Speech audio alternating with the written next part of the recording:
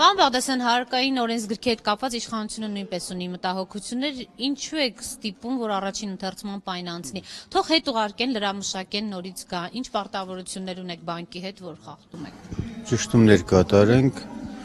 ինչ է նշանակում ինչու եք ստիպում։ Սա շուրջ 15 տարի մենք խոսում ենք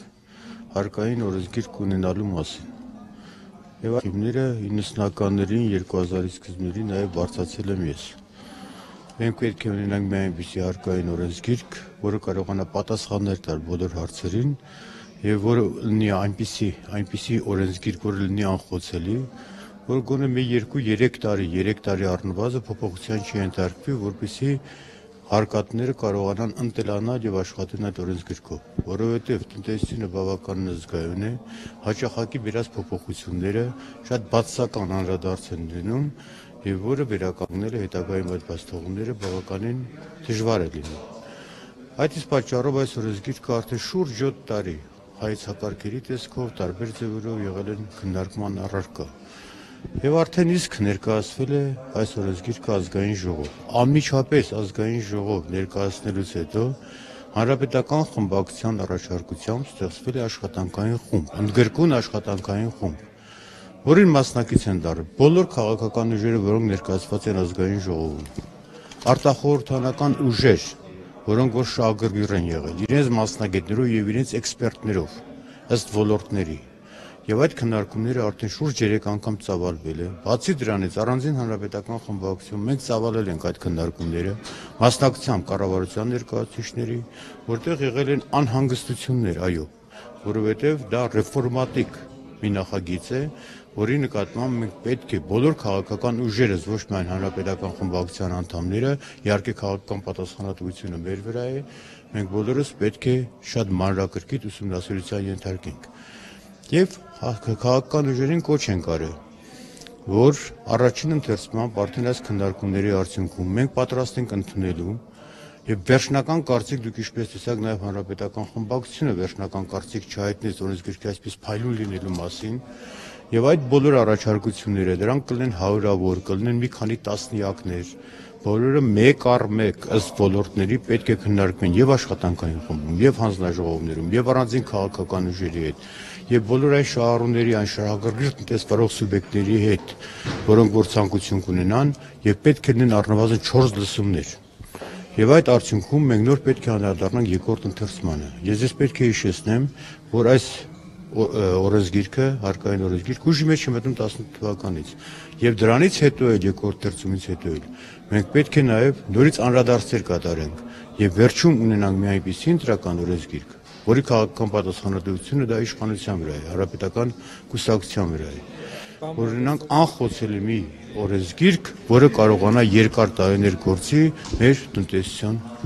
համար։ Պարոն Բաղդասարյան, փաստը որ գործարարները եւս քննադատում են, արդյոք սա նաեւ կպնում է իրենց գրբանին եւ չկա մտավախություն, որ տեղի կունենա գործարարներ, օլիգարխներ եւ կառավարություն բախում։ Եթե մենք այդքան շատ զգուշանանք, ես նորից եմ կրկրել կտրական քայլերին ես միշտ դեմ եմ եղել, որ ամեն ինչը կտրել եւ արմատախիլանել եւ գցել, որը հնարավոր չէ։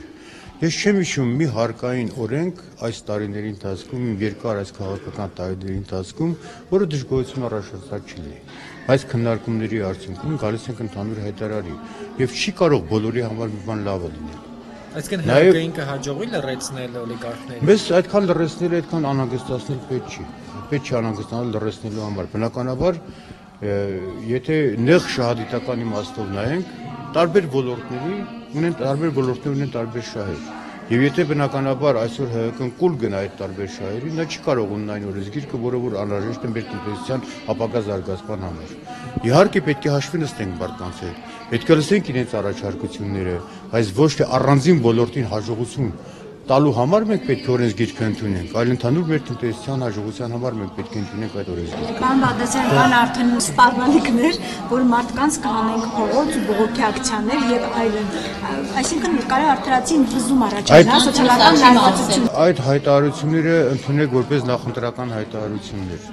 Բա իհարկե պետք է մարդիկ փորձ կատարեն իրենց հնարավորությունները նրանք գնահատելու, որ իրենց հնարավորությունները բավականին թույլ են ընտրության համար, պետք է կոչ անեն ժողովրդին փողոց հանելու համար։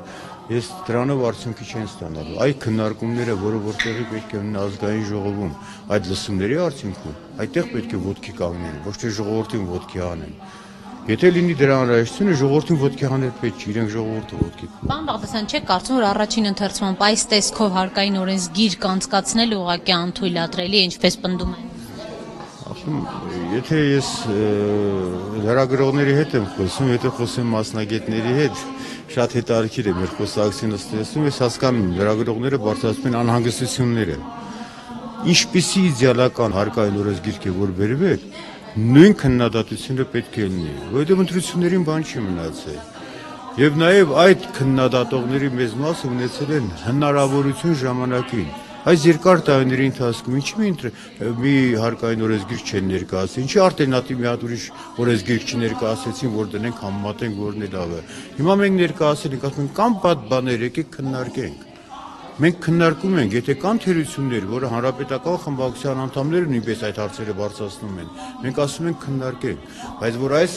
օրենսգիրքը լուծում է տալի բազմաթիվ հարցերի եւ իր դրական կողմերով կունենա նաեւ բացասական էլեմենտներ, մենք դա չենք բացառում։ Եվ նաեւ ես իմ ելույթի ժամանակ ասեցի, ես ունեմ բավական նարակություններ։ Ով ասե որ ամեն ինչ իմ սրտով է։ Ես իմ պատկերացումներ ունեմ տնտեսության զարգացման հետ կապված։ Մեկ ուրիշ իր պատկերացումներ ունի, բայց դժվար է այդ բոլորը համատեղել։ Այսինքն մենք մասնագետների հետ,